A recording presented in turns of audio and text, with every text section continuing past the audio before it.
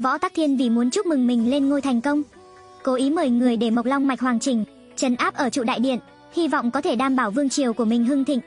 Nhưng nào ngờ một tia sét đánh qua, con rồng bị phong ấn lại thức tỉnh, rồng thần mở mắt phát ra tiếng gầm, tiếp đó liền phun lửa đốt thái giám thành cho, giây tiếp theo rồng thần vùng khỏi dây xích, biến cung điện thành biển lửa. Tục ngữ nói cuối tháng 6 gặp rồng là chuyện tốt, lúc này nhấn like để lại một câu đại cát đại lợi.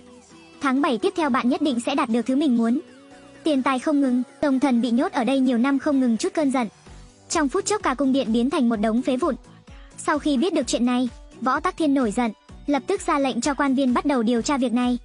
Nhưng chỉ qua 2 tháng, những quan viên điều tra vụ án này đều chết ở nhà bằng những lý do khác nhau. Thấy xuất hiện một sơ suất lớn như vậy, Võ Tắc Thiên cũng trách mắng Đông Phương Vân của đại lý tự một phen. Sau đó kêu người mời địch nhân kiệt ở Tính Châu lên triều, đồng thời kêu ngài điều tra vụ án rồng thần. Nhưng nào ngờ ngày đầu tiên địch nhân kiệt đến thần đô Lạc Dương, thì ngài đã bị Đông Phương Vân ôm hận đánh phủ đầu. Địch nhân kiệt Cả hắn đưa đi cùng, nhưng hắn không biết hành động này lại giúp địch nhân kiệt một việc lớn. Ở trong tù, địch nhân kiệt gặp được người nhà của Trương Đại Nhân người đầu tiên tra án. Địch nhân kiệt biết được các thế lực trong vụ án của rồng thần từ ba. Sáng sớm hôm sau, đặc sứ của Võ Tắc Thiên đến Đại Lý Tự, khi giao một lệnh bài cho địch nhân kiệt, cô cũng ra lệnh cho ngài phá án trong vòng 7 ngày. Nhưng vừa chuẩn bị bắt đầu điều tra, địch nhân kiệt đã gặp được chỗ khó, thì ra bởi vì người thứ hai phụ trách điều tra vụ án này là Hồ Đại Nhân tự tử ở trong nhà. Cho nên tất cả tài liệu đều bị hủy cùng với ngài. Thấy manh mối mất hết, không còn cách nào địch nhân kiệt chỉ đành tìm manh mối ở hiện trường xảy ra vụ án. Nhưng vừa đến hiện trường địch nhân kiệt đã giật mình, chỉ thấy một đám nhân công lập đàn cúng tế một bức tường. Hỏi rõ mới biết nguyên do sự việc. Tại sao nơi này lại phải cúng tế trái cây? Bẩm đại nhân, chúng tôi đang tế bái người chết oan.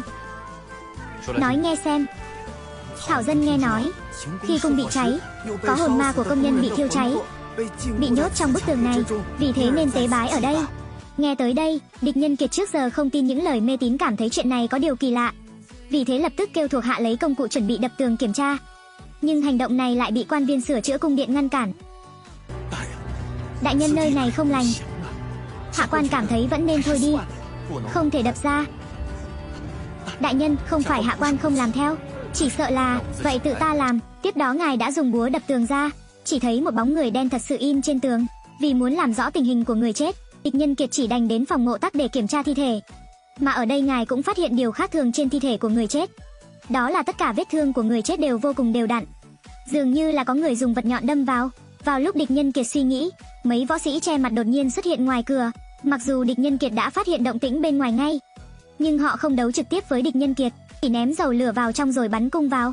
Dựa vào thân thủ nhanh nhẹn, địch nhân kiệt thành công trốn được mưa tên. Cũng vì vậy mà giúp ngài phát hiện được một ông trúc dưới bàn. Cuối cùng đại lý tự phát hiện ngọn lửa mà chạy đến.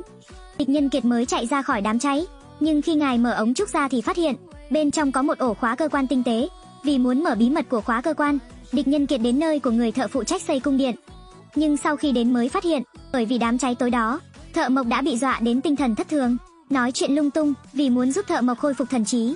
Trợ thủ của ngài là tiểu viên dùng cách châm cứu để chữa cho thợ mộc. Hy vọng ông có thể mở bí mật của khóa cơ quan.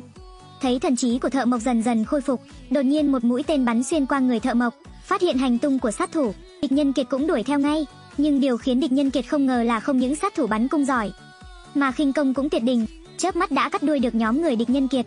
Sau khi thất bại nhiều lần cũng khiến cho địch nhân kiệt không vui trong lòng. Vì thế tối đó ngài dẫn thuộc hạ dạo phố, đồng thời suy nghĩ phương hướng điều tra tiếp theo. chính vào lúc này, một người qua đường không cẩn thận làm rơi đèn lồng trong tay. Nhìn đèn lồng mau chóng bị cháy, trong lòng địch nhân kiệt đột nhiên có linh cảm. Cô nói xem con người cũng bị đốt thành cho nhanh vậy à? Không thể nào, người và đèn lồng khác nhau một trời một vực. Từ khi có một loại lửa đặc biệt, có thể khiến cho con người lập tức trở thành cho. Không sai. Nhưng vật cháy chỉ có gỗ than, dầu thôi. Cũng chưa chắc. Có lẽ còn có một loại lửa nào khác mà chúng ta chưa biết. Vì muốn phá giải bí mật của ngọn lửa, địch nhân kiệt cũng về tính châu ngay lập tức, tìm sư phụ của mình truyền nhân của quỷ cốc tử, để hỏi về lai lịch của loại lửa này. Sau khi gặp sư phụ, địch nhân kiệt cũng nói cho cho ông biết khó khăn khi mình phá án. Sau đó cũng hỏi mục đích đến đây lần này, hoài anh cũng có chuyện không giải đáp được à?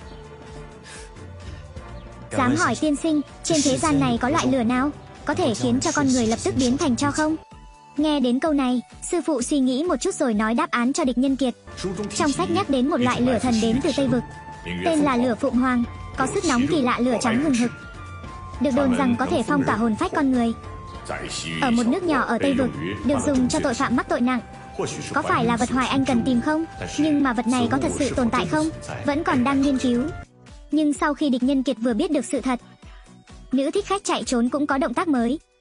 Địch nhân kiệt có danh thần thám. Đến đây tìm nhà của Trương Hoài Viễn. Thuộc hạ sợ hắn tìm được cái gì mới ra tay. Tự cho mình là thông minh. Từ khi nào đến lượt ngươi quyết định thay ta chứ? Ta chỉ sợ giữ hắn lại sẽ làm hư việc lớn. Không có lần sau nữa, cút ra ngoài đi.